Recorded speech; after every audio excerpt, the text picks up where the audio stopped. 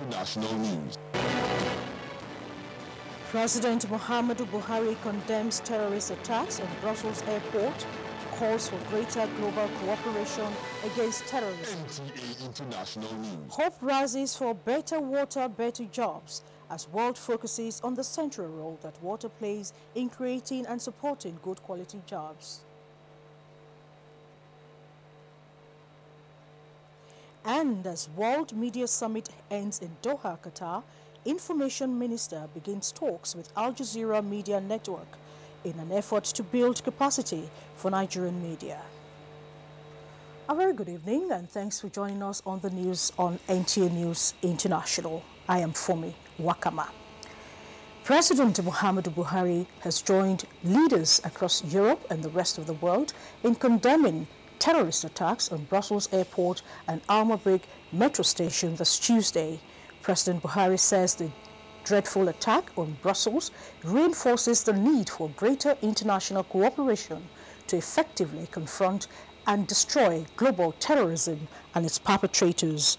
President Buhari says he assures the global community that under his leadership, Nigeria will continue to work hard to ensure that terrorism never triumphs over free, peaceful and law-abiding nations. The president commiserates with Prime Minister Charles Michel and Belgians over the loss of over 30 lives in the attacks. President Buhari assures the Prime Minister that Nigeria stands in full solidarity with them on this day of national pain and trauma, having suffered the horror and anguish of incessant terrorist attacks over the years. In the meantime, Belgium has declared three days of national mourning following terrorist attack on Brussels airport and the Almabrig metro station in the Belgian capital. Reports say the airport blast happened shortly after before 8 a.m. local time at the departure hall near the check-in desks for the American Airlines and Brussels Airlines. Little over an hour later, another explosion was reported at the Almabrig station near the European Council headquarters and other EU buildings. The capital's entire public transport system has been shut down. ISIS is said to have claimed responsibility for the attacks. The airport has been closed to all departures and arrivals, while rail services have also been suspended. The Prime Minister described the latest attacks as blind, violent and cowardly, while the Interior Minister, Jan Jambon, said the national terror alert would be raised to its maximum level in the wake of the deliberate attacks. Brussels has been under increased security measures since November's attacks in Paris and has seen several operations in recent weeks linked to the hunt for Saleh Abdul Salam, who was caught on Friday. And back home, the Senate is set to pass the 2016 budget following the laying of the appropriation bill report by the Committee on the Appropriation at Tuesday's plenary. National Assembly correspondent Mohammed Ali reports that the Senate thereafter suspended plenary in honor of a deceased member representing Nasarawa Toto Federal Constituency in Nasarawa State. The Senate had undertaken to pass the 2016 budget this week. The 2016 appropriation bill report was laid before the Senate alongside the annual report of the Auditor General for the Federation on the accounts of the Federation of Nigeria for the year ended 31st December 2014. The report of the Conference Committee on Medium-Term Expenditure Framework and Fiscal Strategy paper was also laid at Tuesday's plenary. Senate Leader Mohamed Ali Ndume explains that the Senate is poised to pass the 2016 budget on Wednesday. In fact, we are passing the budget tomorrow, inshallah, all being equal. In fact, the reason why we are is the normal requirements that budget that, that report must be laid. After laying the report, we must make copies and distribute to members. But that we have done. So by tomorrow, we hope to pass the budget and even transmit the, uh, you know, for transmission. Senate thereafter suspended plenary in honor of the member representing Nasarawa Toto Federal Constituency at the House of Representatives who died on Thursday, 17th March 2016. From the National Assembly, Mohamed Ali, NTA News. And just like you heard in that report, the House of Representatives on Tuesday adjourned plenary to Thursday in honor of their late colleague, Musa Baba Owan, who died last Thursday. National Assembly correspondent Ignatius Unko reports that the House sat for just 15 minutes. Oh, sorry. After Speaker Yakubu Dogara read a letter from the Senate confirming its concurrence with the House resolution of taking over legislative functions of Kogi State House of Assembly, the Chairman House Committee on Appropriation, Representative Abdul Mumin Jibrin, presented the report of the committee on the 2016 appropriation bill, and the House adjourned thereafter. We recognize Honorable Dr. Salami to pray for the repose of his soul, while Honorable Chike Okafor will pray for the family and the loved ones he left behind. Pray for his family. We pray for his constituency. We pray for the Nasarawa state. In an emotion-laden voice, some members describe the late Musa Baba Owana as a gentle and peaceful colleague who will be greatly missed. Let Owana was elected into the House in 2011 under the platform of the Congress for Progressive Change and was re-elected in 2015 to represent Nasarawa Toto, Federal Constituency of Nasarawa State, on the platform of the All Progressives Congress, APC. A gentleman to the core. He sat in front of me in the chambers. You cannot even know if this man is even there on the seat. We're together in the house, in the chambers on Wednesday, only for us to hear that he has passed on on Thursday, and it is quite painful. It will be a great loss, not only to our senatorial constituency and the state as a whole, but indeed, Nigeria has lost one of his finest. But we will lose him greatly. Uh, we hope that our colleagues will uh, also emulate his kind of humility. And so we pray that Almighty Allah grant him Al-Jannah Firdausi. Not a good one for us when we heard about his demise last week. In another development, the People's Democratic Party caucus in the House described the suspension of the rerun election results in River State as unconstitutional. The main issue here is that INEC should release the results of River State in line with the Electoral Act. Elections has been concluded. They owe this nation the moral responsibility of releasing this result. The caucus also sympathized with families of those who lost their lives during the election. From the National Assembly, Ignatius Nkwo, NTA News. And Nigeria has joined the rest of the world to mark this year's World Water Day. It is a day to make a difference for members of the global community who suffer from water-related issues. In 1993, the United Nations General Assembly designated the 22nd of March as the first World Water Day. The theme for this year's celebration is Better Water, Better Jobs and focuses on the central role that water plays in creating and supporting good quality jobs. Justin Bem Oyi reports.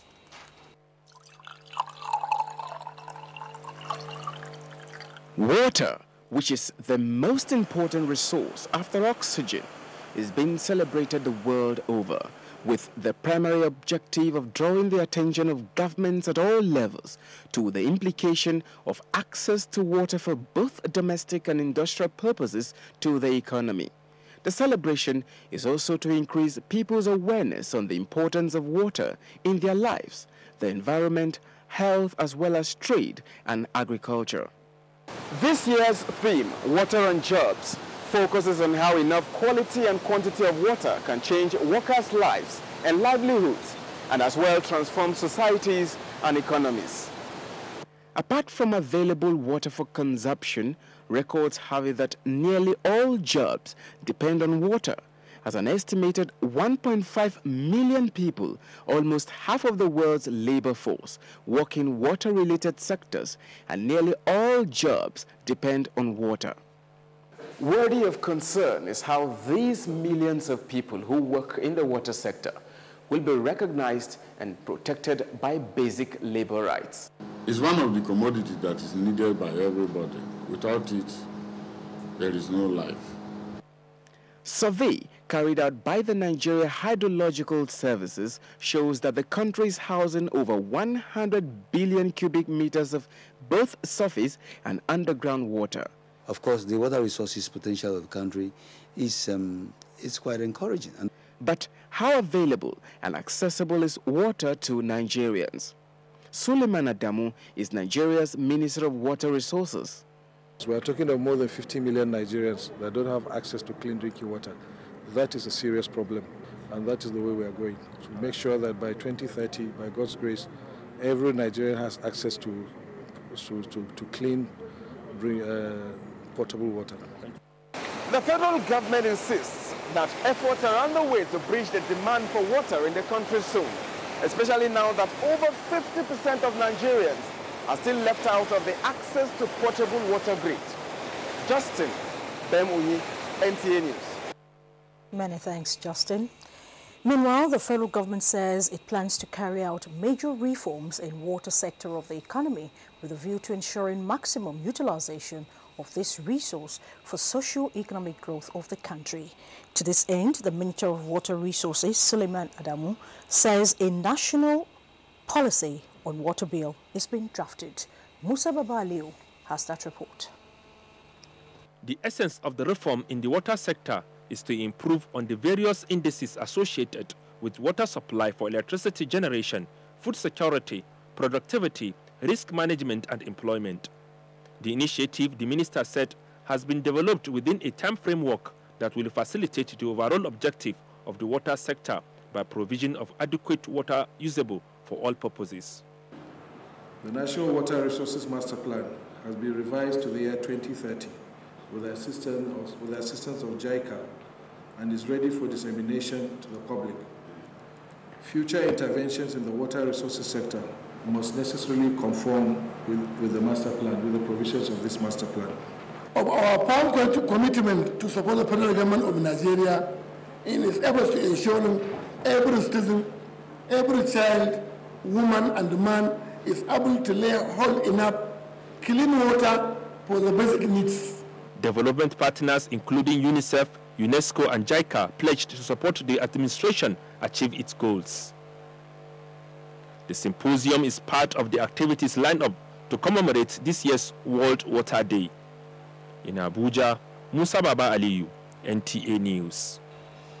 The federal government is working towards the manufacturing of automobile products in the country. This is to discourage and check capital flight as the current situation wherein automobile engineering products account for 50% of the nation's foreign technology is not acceptable. Science correspondent Kieran Umayo reports. Dr. Bonea noted that automotive technology is essential for the development of the nation. Therefore, local manufacture of automobile products through research must be encouraged. We have the largest market in Africa, so uh, there is no reason why uh, our automobile industry cannot be strong. Uh, however, I still believe that if you look at uh, what happened in the 1980s, 1990s, it is very clear to us that if our automobile industry had done research and developmental work for a period of time, it would have been strong enough even when uh, government opened you up to competition from outside. Because, you know, most governments uh, will not want to over forever uh, give the support of uh, stopping competition from outside. Managing Director of Peugeot Nigeria, Ibrahim Boyi, who called on the minister, has said that there is need to grow indigenous technology for human capital development. In Abuja, Kirian Umayo, NTA News. Information and Culture Minister Lai Mohammed has begun talks with the Qatar-based international media network Al Jazeera on a possible partnership for capacity building. This was the outcome of the minister's visit to the Training and Development Center of the media network in Doha, Qatar. Anthony Forsin reports. This is the Al Jazeera Training and Development Center. It was established in 2004 with a focus to provide quality manpower in media-related fields. And so, when Nigeria's Information and Culture Minister, Lai Mohammed, came visiting, the management wasted no time in letting him know that his choice to visit the center is apt, given the prominence it enjoys in the media world. The director of the center, Monir Demi, said this is because Al Jazeera keeps pace with the latest technology that drives the media industry. Then, Information and Culture Minister Lai Mohammed opened his mission. I have inherited a very big behemoth, you know, uh, television authority in Nigeria. But I don't think I'm happy with exactly what we have today. And once you lose credibility in this business, you also lose profitability you, because you lose viewership and you're also going to lose uh, advertisers. Today, we are just struggling to rebuild the image, credibility of the National Television Authority, which we call the NTA. NTA is, I think, today is the only organization in Nigeria that can be reached, can be viewed all over Nigeria. But it's over the years neglected a lot of things, infrastructure, training, programming. And that's why I believe that um, uh, this um, rapport with uh, Al Jazeera is going to be mutually beneficial to, the, to both parties. The Al Jazeera management team wasted no time in embracing the minister's request. We can help in that sense, and as you mentioned, Your Excellency, is that this probably needs long meetings and uh, more of uh, customized solution rather than off-the-shelf solution that comes uh, for everybody. So what we need to do is probably have more meetings and uh, more extended meetings with people, relevant people from different, different sides. And then we can take it from there. So we can discuss what the needs are. With an extensive network strategically located within today's media world, Al Jazeera says it is open to partnership and exchanges as it provides training in television, radio, print, and all media-related management operations. From Doha, Qatar, Anthony Forson, NTA News. You're watching the news on NTA International, reaching you from Abuja, Nigeria's capital city. We have more reports after these messages. Nigerians, our fearless officers and men of the Nigerian military are winning the war against Boko Haram.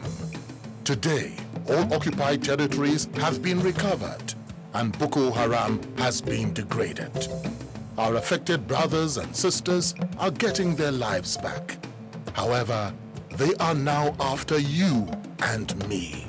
In our mosques, churches, schools, motor parks, markets, entertainment centers, and public gatherings. Be vigilant. Be security conscious. Report suspicious persons, objects, and movements to the police and other security agencies. The security of our nation is a duty for you and me. Nigeria unite against terrorism. This message is brought to you by the Federal Ministry of Information and Culture.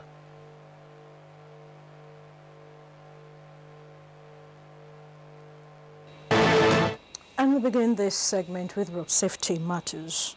The federal government has reiterated its commitment to improving the national road transport system through regular highway construction, rehabilitation and toll gates establishment to create proper environment for safety and security of road users. Secretary to the Government of the Federation, Babachir David Lawal, made this known in a message to the flag-off of Pan-Nigeria Road Safety Campaign. Aliu Tukur has more. World Health Organization says over 1 million deaths is recorded globally every year as a result of road traffic crashes.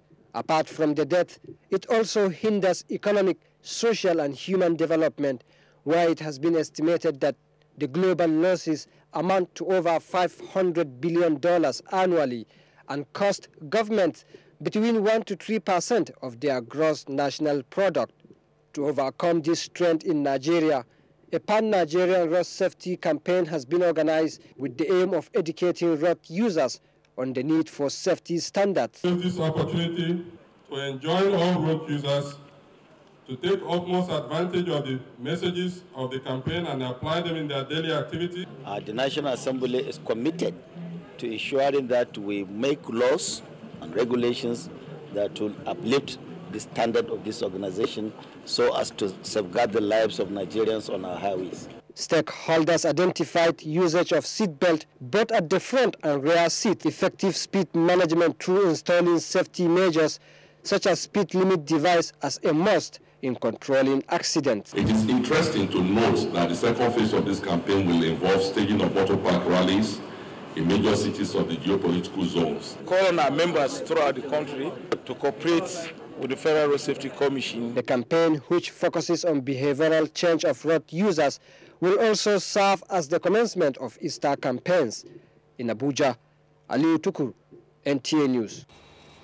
In line with the federal government's efforts to sustain reformatory initiatives that will transform the lives of inmates ahead of their release from prisons, an educational intervention laboratory was inaugurated at the maximum prison in Lagos. Musa Toliat reports that the reformatory gesture was carried out by a non-governmental organization. Of the event's day, the gesture is born out of the popular saying that an educated person is one who has learned and is empowered to effect positive change in the society. They explained that the move is aimed at providing prison inmates with learning tools and resources, especially those who are preparing for external examinations at the prison's National Open University Education Center. Non-academic books and magazines were part of the provisions made available to cater to the needs of those who are not academically inclined.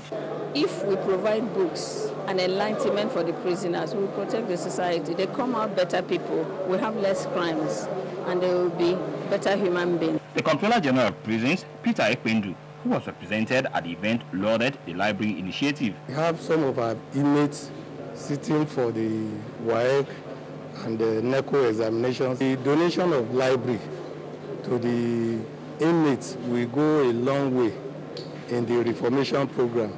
He said the project will enhance inmates' academic pursuits and make them productive after securing their freedom from the prisons. Zacchaeus Onumba Dibiaezue Memorial Libraries have been established in Ikoyi Prison, Medium Security Prison Kirikiri, and Badagry Prison. In Lagos, Musa Tolian, NTA News. Uche Nwizu has stories making the headlines in the world of business. Solid minerals producing states will now enjoy 13% derivation as crude oil producing states. Minister of Solid Minerals, Kayode Fayemi, said it was part of efforts to encourage the development of solid minerals in the country. And in Kenya, Deputy President William Ruto said there is need to dismantle trade and cultural barriers that hinder the growth of African economies. Speaking at the ongoing African CEO Forum in Abidjan, Ruto said regional and continental integration was critical in bringing down the walls that separate African countries and significantly expand intra-African trade. On global markets, European stocks fell, while German government bonds, gold and the yen rose after explosions rocked a Brussels airport departure hall and a downtown subway station. The yield on 10-year bonds touched the lowest in almost two weeks, while gold gained for the first time in four days, and pounds dropped against all its major peers. Uche Nwizu, NTA News. And here again is Uche Nwizu with stories trending around the globe. Reports from Tunisia's president's office said the country has extended the state of emergency by three months. It was imposed after a suicide bombing killed 12 presidential guards in November 2015. In Liberia, Information Minister Eugene Nagbe said part of the country's border with Guinea will be closed following the reemergence of Ebola in Guinea.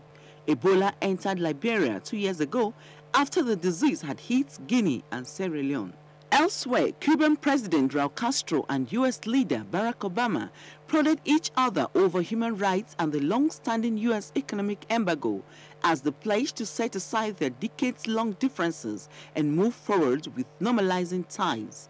Following a historic meeting in Havana on Monday, Obama welcomed what he called a new day in relations between the two countries, but repeatedly pushed Castro to address Cuba's human rights record.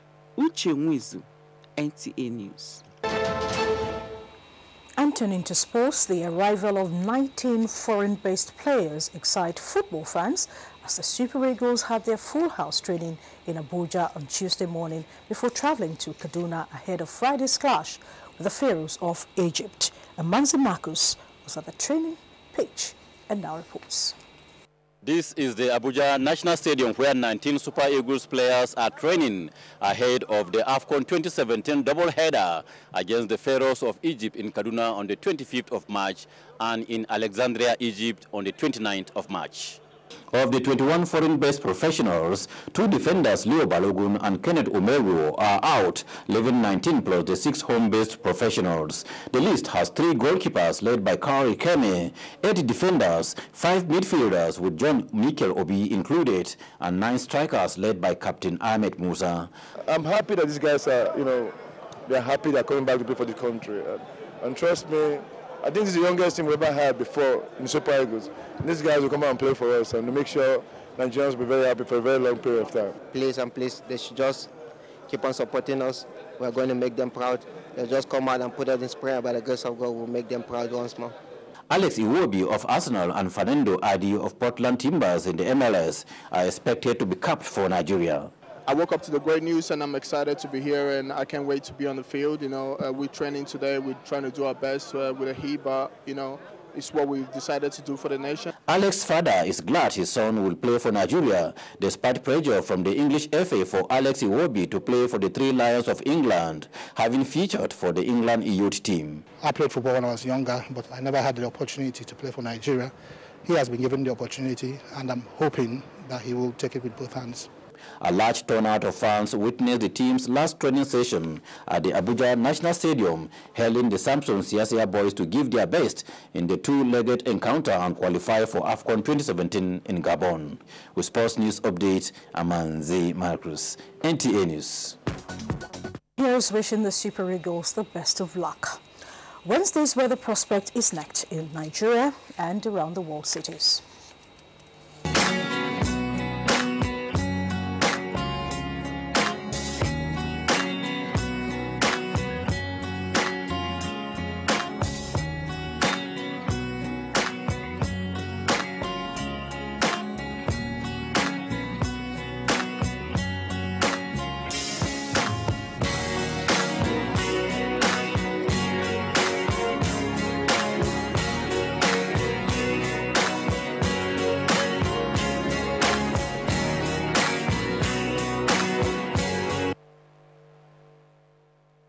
And the weather report concludes the early evening news. We thank you for finding time to join us. I am Fumi Wakama. Enjoy the rest of your evening.